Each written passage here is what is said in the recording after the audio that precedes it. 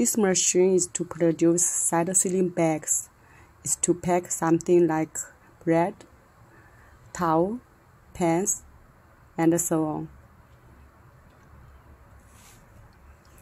This blue one is photo eye, and here's hole punching.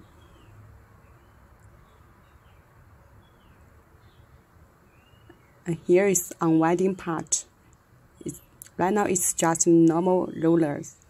If you want to change the air shaft, we can change. Here's tape. Tape inserting.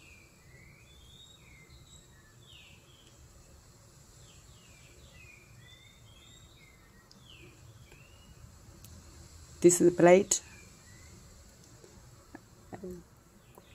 Green belt.